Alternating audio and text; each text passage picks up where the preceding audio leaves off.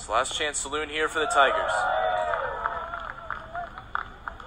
They worked their way back across the entirety of the nine innings, and they've worked their way back here in the 10th as well. It's out there for the taking for the Tiger center fielder.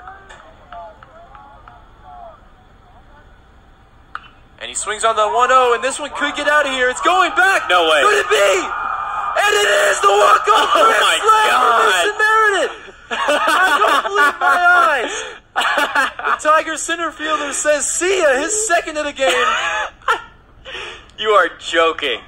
He matches Topol's six RBI and he ups him in a big way. The mob at home plate, and the Tigers walk off on a grand slam from Mason Meredith. He gave this ball a ride. See you later. Wow. Unbelievable. What a game of ups and downs. The Tigers battle all the way back, and they emerge victorious here in the bottom of the 10th. The walk-off grand slam from center fielder Mason Meredith. One of the biggest hits of his Tiger career, without a doubt. And just sit here and take that one in as the teams shake hands.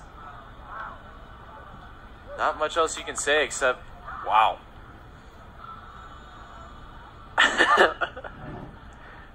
I mean, sometimes I joke about being speechless just out of despondency. That really has left me speechless. So the final line score in this matchup that proved to be a lot more consequential than it maybe should have been.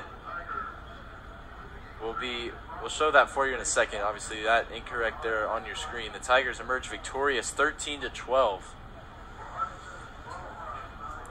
And as you sit to take this one in, the win goes to Carter Frank, who comes in in the top of the 10th, gets the final out, and is the pitcher here for the Mason Meredith walk-off grand slam.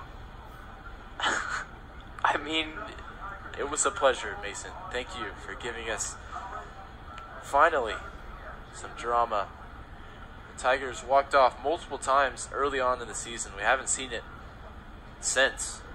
And we got to see it out in full force here as he rounds all four bases and is welcomed by his very excited teammates at home plate. and the crazy thing is, you knew right off the bat as well. The second that thing hit off the bat, I just couldn't believe it. I still can't believe it. That's Right. incredible. My could it be is rather courtesy for McMackman on the mound. It was always going to be. Uh, as the Tigers are victorious 13 to 12. We'll see you again this weekend in some more SCAC baseball as the Austin College Kangaroos come to town. We hope you'll join us Friday at 7 and then a doubleheader Saturday at 2 and 5. The Tigers will look to ride this three game winning streak forward into conference play.